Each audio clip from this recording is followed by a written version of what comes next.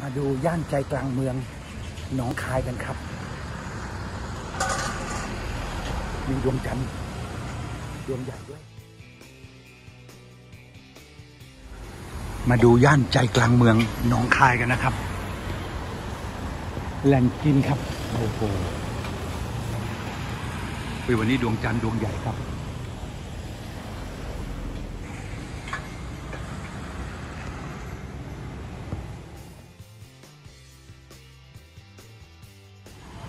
สตรีทฟู้ดหลากหลายครับโอ้ย่านนี้บริเวณนี้คือถนนประจักษ์ศิลปาคมนะครับ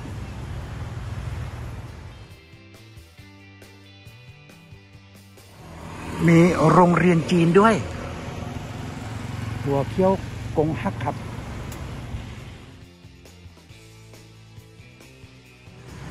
ว่ามีไฟเตอร์ market อาคารคงวิเศษ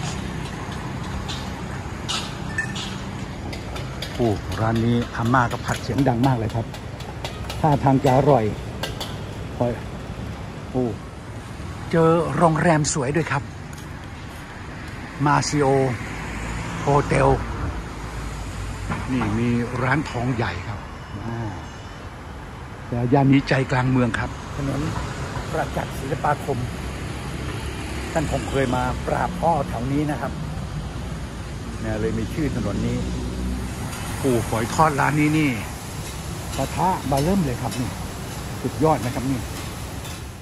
ก็เช่นเดียวกับเมืองทั่วไปนะครับ ก็ต้องมีคนเร่ร่อน ตรงถนนแยกเวียดนามอนุสรณ์นี่ก็มีแหล่งรวมของอร่อยแล้วครับ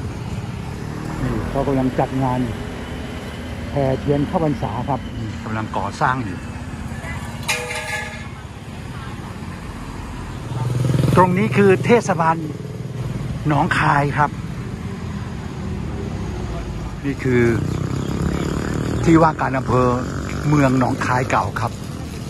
นี่คือที่ว่าการใหม่โอ้อลังการครับโอ้ว่ะอันนี้ก็เป็นสวนเฉลิมพระเกียรติกรมสมเด็จพระเทพนะครับ ราบอ้อนี่ตั้งแต่ 2408 ถึง 2433 นะครับโอ้หลายปีอยู่เหมือนกันนะครับ เหตุการณ์นี้ก็ผ่านมาร้อยกว่าปีแล้วครับ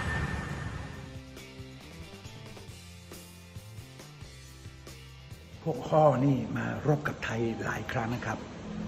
จนสุดท้ายรัชกาลที่ 5 ให้กรมหลวงประจักษ์ศิลปาคมเนี่ยครับไปปราบ แล้วก็เลยสร้างอนุสาวรีย์ปราบพ่อดังกล่าวขึ้นครับ นี่แหละครับ เดินเที่ยวใจกลางเมืองหนองคาย ในช่วงค่ำนี่ก็ประมาณเกือบสองทุ่มแล้วครับ แล้วค่อยพบกันใหม่นะครับ